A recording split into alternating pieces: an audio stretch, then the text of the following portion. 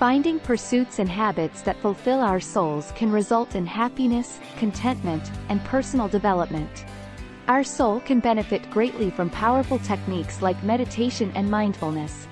People who regularly practice this feel less anxious, more focused, and more satisfied with themselves. Spending time outside can help us feel grounded and more connected. As we are away from all the noise of life, we can find inspiration. Writing, dancing, playing an instrument, or anything creative can help us feel fulfilled. Being kind and helping others can give us satisfaction no matter how big or small.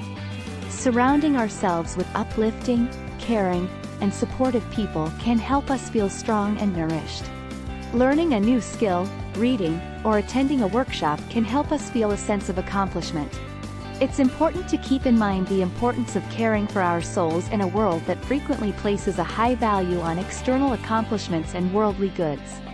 For our total well-being and happiness, it is crucial to make the time to do things that nourish and complete us on a deeper level. The best approaches to nurture the essence within include practicing mindfulness, being in nature, exploring creativity, being nice to others, building meaningful connections, and supporting personal development. Keep in mind that your path to soul nourishment is individual to you. Accept these routines as a place to begin and then look for other pursuits that speak to your inner self.